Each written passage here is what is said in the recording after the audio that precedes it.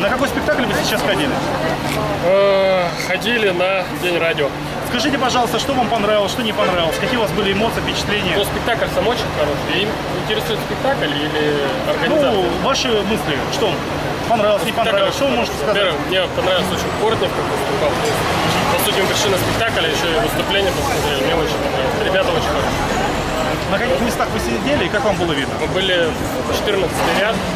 Видно нормально, но в целом вот спуск неудобный, потому что много людей очень, спускаться тяжеловато.